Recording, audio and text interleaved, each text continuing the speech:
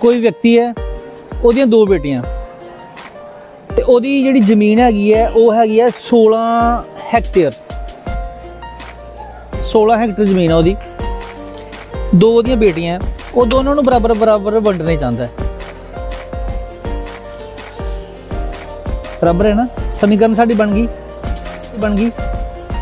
ਦੋਨਾਂ ਬੇਟੀਆਂ ਨੂੰ ਕਿੰਨੀ ਕਿੰਨੀ ਜ਼ਮੀਨ ਆਏਗੀ? 8-8 ਹੈਕਟਰ ਆ ਜਾਏਗੀ।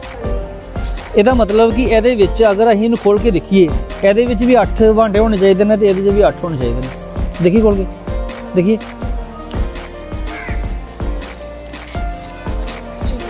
ਇਹ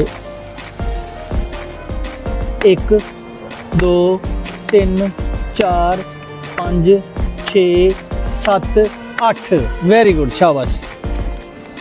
Very good